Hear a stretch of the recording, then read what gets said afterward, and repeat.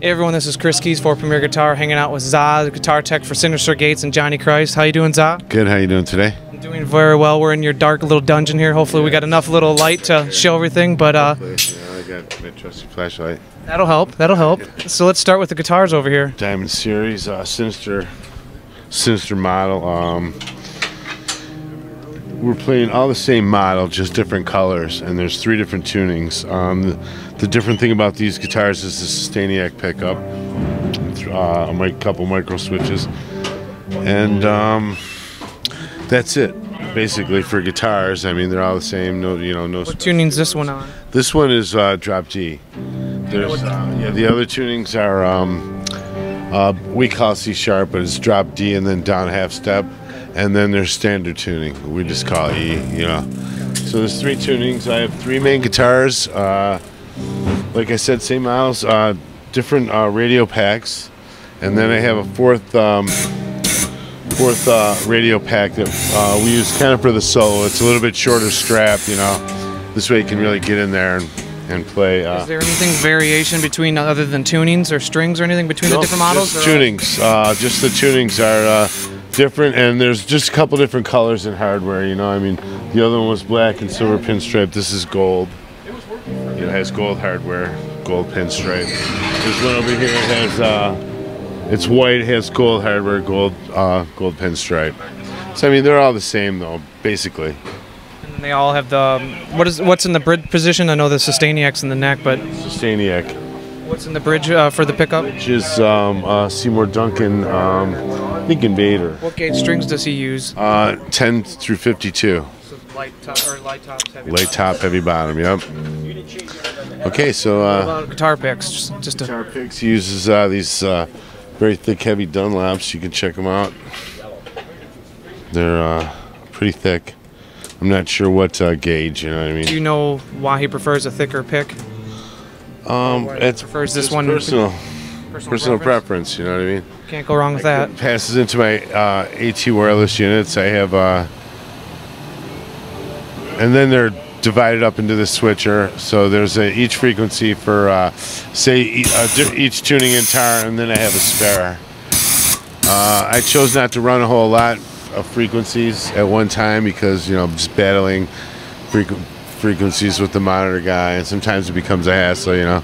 So, anyways, uh, I'm sorry. I was just going to ask you, do you ever get too worried about being too close to the hot box up here? In case people are wondering the noises they're hearing, it's the pyros that's No, happening. No, man, it's actually um, Keeps you warm? cooler down here than when you're off stage. You know, I mean, it gets heated up off stage. You know, I mean, off stage, I should say, off left where I am was normally located. But you know, on stage, it's hot. So it goes through uh, the wireless units into the uh, multi-selector, which I select. Uh, you know, whatever guitar. You know, I have I have it into tuning. Some guys have them numbered. You know, and they flip flop straps. I flip flop a couple.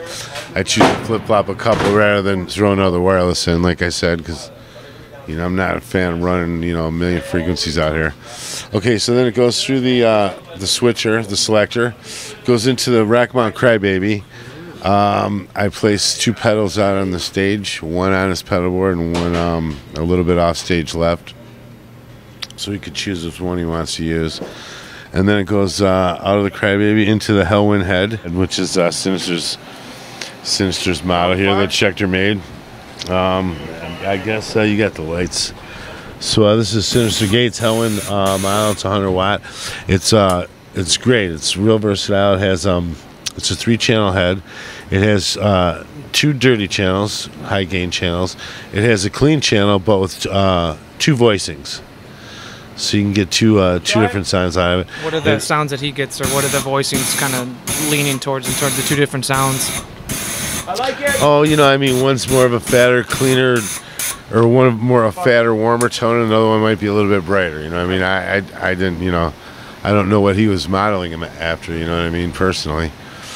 But um, so I'm just explaining the amp here, and uh, anyways, uh, sorry. There's two uh, two channels on clean. There's uh, an effects loop, which we have programmed in uh, all the time because for uh, what we're running for effects is the Fractal Axe-Fx two, Okay. which is uh, awesome, you know. And he chose that. I mean, it's a nice unit, and he wrote some custom scales in there that sound really fat. You know, this amp. Um, the amp is awesome. 100 watt. I mean, it gets all the tone and balls from this amp. It's really nice. Uh, like I said, there's the effects loop. There's a uh, there's um, the boost. Um, you know, that's easy easy to program MIDI. You know, it's just a tap of a switch, really, and hold it in. Uh, there's a focus knob. You know, that just kind of tightens things up a little bit, loosens it up. And the cool thing about it is there's a gate, a built-in gate on there, and uh, you know, on the high gain, it just helps out tremendously. And uh, when you go to a clean uh, channel, it bypasses the gate, which is awesome. You know, and um, How does he have these set up in terms of the, you, you pointed out the focus switch? Oh, it's just on normal. You know what I mean? Yeah, yeah, it's normal. And then, uh, and then we run from the, like I said, we just run the effects loop on the Hellwin for the fractal, and uh, which is controlled by the uh, by the uh, MFC 101 fractal unit. And uh, you know, like I said, there's sometimes we put the, um, you know, I keep one on the board, a wah wah, and then I place one just a little bit off stage left for him. And uh, Is there when he goes through the patches? Are the patches designed for each song, or are they are, for yeah. just for Well, sounds? No, that he some are like I said. Some are some patches are designed for the songs, you know, which are the custom scales, and the other ones are, uh, you know, just your basic fat dirty and your fat clean. You know what I mean? You you know, which he gets all that from you know the Hellwin. And uh, it's all run into a Hellwin cabinet, which is over here into this ISO box. A Hellwin Schecter uh, uh, 412 cabinet and it's in an ISO box. So uh, because every, all the guys are in ears, and we don't have any amps on stage, and uh, the sound is isolated, and um, you know you can gain up the mics and not pick up any ambient noise, and uh, you know crank crank up the amps, and it's nice. And it's off stage, and uh, it's fairly quiet, you know. And uh, so all the guys in the band are in ears. Uh, I'm on in ears myself, and. Um, that's basically the guitar rig. Okay, this is a set list, and I, you know, I have it broken down because I take care of two guys basically in the band. So, uh, anyways, there's the tunings. Here's my little notes, you know. Um, the bass guitars are up here, and uh, that's my strategy for the night, basically. You know what I mean? keep things straight. Yeah, that's how I keep things straight. You know, I keep things going, and. Well, do you mind taking us through Johnny's gear quick too? Yeah, Johnny's got the uh, Schecter basses. Uh, all, all you know, they're like I said, they're kind of like um, Syn's guitars. They're all the same model, but they um, they uh, they're different tunings. You know what I mean? And so, uh, and there's also uh, EMGs in here, and there's um, in the center position there's uh, a guitar pickup, which is kind of cool, a little bit different. He was looking for kind of a you know, kind of a growly sound, you know what I mean? For a couple songs. What songs uh, does he use that for? Do you know off the top of your head what songs he uses a guitar, specifically the one with the guitar pickup in it? Uh, well, it's a blend.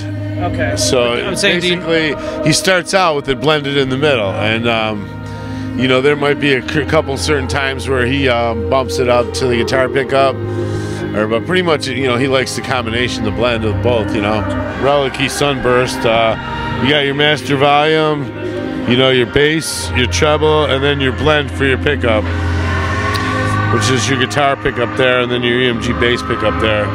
Which which EMG sure- is that? I'm not even sure what model. You know what I mean? So,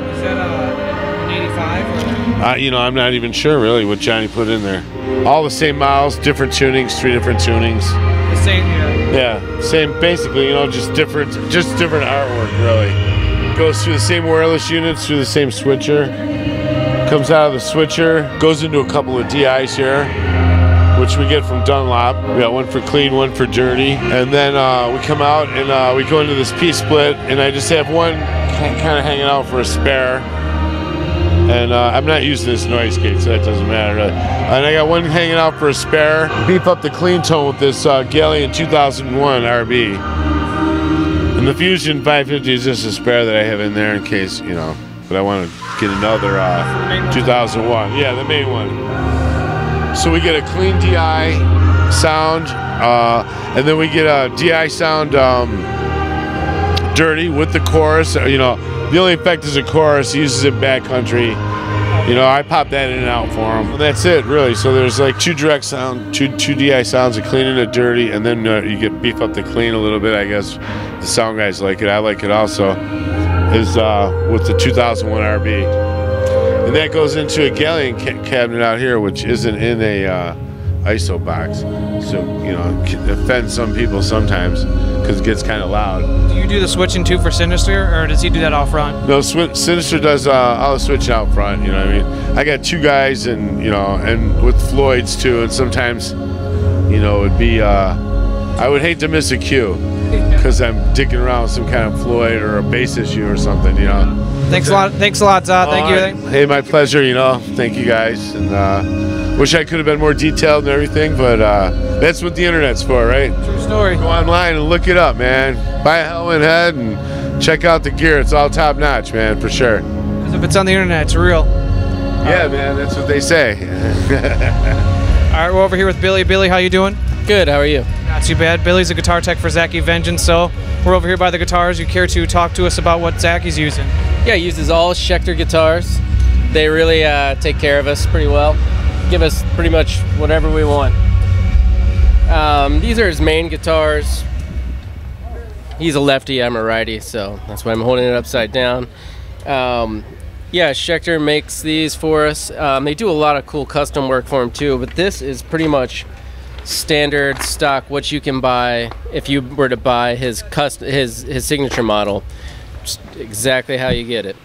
And um, I don't know if they've got the pickup engraving on the customs, but Seymour Duncan pickups just the same, I believe. In the Do you know which, which particular pickups are on this one?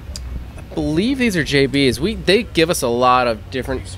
We've got a couple that have hand wound pickups from them. I'll show you some of that. Yeah, I know they're getting their custom shop kind of really up and going too. And then, but that's that guitar is for um, his drop D tunings, and that's his main for drop D tunings. And this is his main for his drop C sharp tunings. These they relic for him. It looks just like stage wear, and they've got like all that. They give you a good like belt buckle rash, and they feel really good. They a lot of the his um, binding comes like already yellowed, and he really likes these. These are his mains for drop C sharp. His main for his E standard. He only played one E standard song, Buried Alive, but this is main for that. And it's another custom color from Schecter. It's flat green. And um, yeah, and they all have the 6661 on them. This is a custom one from Schecter. He plays this in E standard, and it's the only one we have that's got string through body. And he's got another camel one that they made for him that's got uh, custom wound pickups from them. They're like, I believe they call it the Schecter Blade or something like that. But um, What does he like? Has he ever conferred or conveyed to you what he likes about anything particular with the string through body versus you know the other ones? You know what?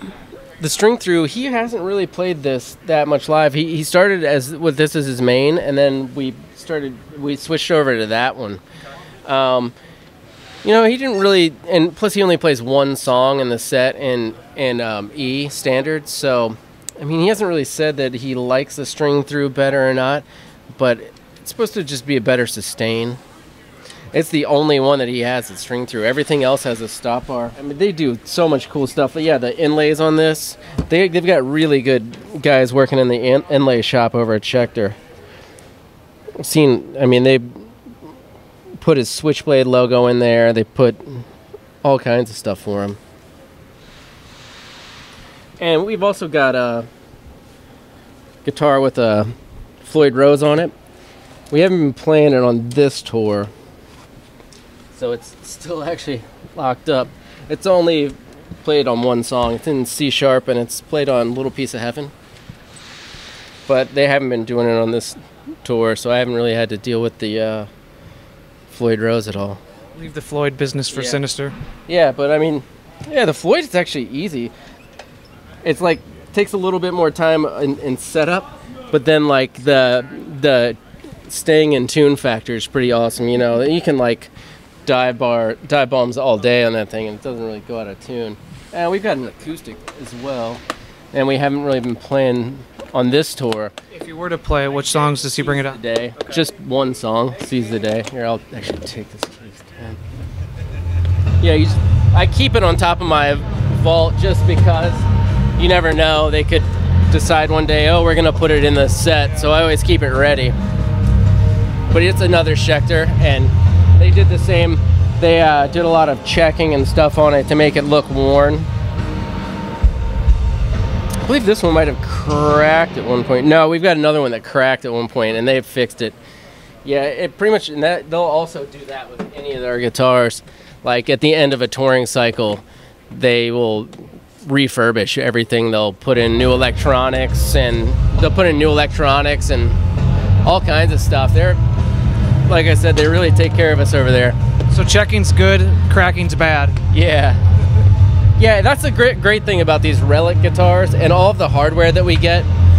It makes it looks worn, but it's not. So it used all the moving parts that are supposed to move are still functional. Like, but you know when a guitar really just gets old, like the you know bridges don't move, tuning pegs and everything get like rusted. And, but these actually just look old, but act brand new. All right, he's sponsored by Jet City, and, and Doug over at Jet City, like, he really takes care of us as well. Like, I've had him overnight amps to us before when we needed them. And we've got a 100 watt and 50 watt switch on them, so they're pretty cool for bands that don't have ISO cabs. We've got ISO cabs, so we leave it on the 100 watt setting just because it doesn't matter how loud it gets. And um, but if you didn't have an ISO cab, you could put it on 50 and get it to break it up at a lower volume. And they make custom name badges for us. It's the Vengeance Switchblade logo. He plays a chorus pedal. That's just pr- pretty much for the clean part in Bat Country. It's got a custom comp, and um, Scott over at Dunlop really like takes care of us with pedals and stuff like that, and straps, anything we need pretty much. He's got a decimator. That's his um, noise reduction unit. Just because with the high gain and like throwing your guitars around, you want it to be clean stops. And so it keeps it like where it's really crisp and clean stops. And everything is run through this ground control unit. And he's pretty much just got one main setting. That's his lead his lead setting. Just dirty with a compressor on it and a noise gate, the decimator. And he's got a clean setting, which is just the clean tone on the amp. No no pedals, nothing. And that's pretty much just in Buried Alive. He's got a lo-fi pedal, which he uses in Almost Easy, and that's just I just hit that, and there you go, Almost Easy lo-fi pedal. And then for Bat Country, this will engage his clean tone with a chorus pedal. I just have them labeled because It's easier just so. I can always see it. Yeah, glow in the dark. Are both amps on at the same time? No, he's only using one amp. The other one is a backup. I can show you his ISO cab if you like. Yeah. This is our ISO cabs. We um, tend to just keep them in these boxes so we can crank it as loud as we want. Our front of house guy and our monitor guy don't have to fight over the stage volume of the guitar. And also, it's good for consistency because these mics, you know, they stay in place. They're not going to get touched by anybody on stage. Nobody's going to really move them. And it's really, you get a consistent sound. what do you set your drink now? I guess, or not your drink, but their drinks. 'cause now that the cabs I've are got gone. a, I've just got a little uh, case I use as a bar up on stage. Yeah, and we're actually um, we have a Marshall cabinet in there right now, but um, we're, we've got a Jet City cabinet waiting at our storage space. Classic 30s. Yeah, same same speakers. It's just like we wanted to try the Jet City, see because you know I mean it was engineered to work with that amp, so.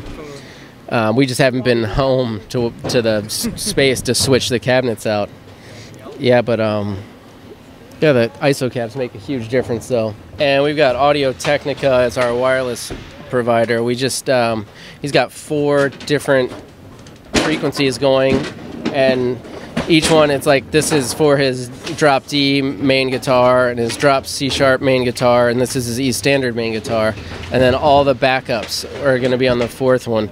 And so I just switch through here. It's got a multi-selector, so it'll just whichever tuning it's going to be in, I just hit the button and there it goes. Dunlop is our pick provider. Should have guessed. Again, Scott, we just usually order them, and they do custom logos. You know, it's got his Vengeance logo. This is why I haven't really had to order worry about ordering picks. We've got quite a surplus right now, but uh, we still do sometimes. We we had a lot of the old ones, and we changed up the logo for the new rec when the new record came out, and our strings we get through Ernie Ball, skinny top, heavy bottoms on all of his guitars. It helps with the the detuning like the the drop C sharp. You know, if you don't have the heavy bottom, it kind of It's flubby. tends to get yeah flubby. It keeps it a little tighter. Thank you very much for taking the time for uh, walking us through Zacky's rig. This is Chris Kies for Premier Guitar. If you want to check out more rig rundowns and other videos, subscribe to our YouTube channel.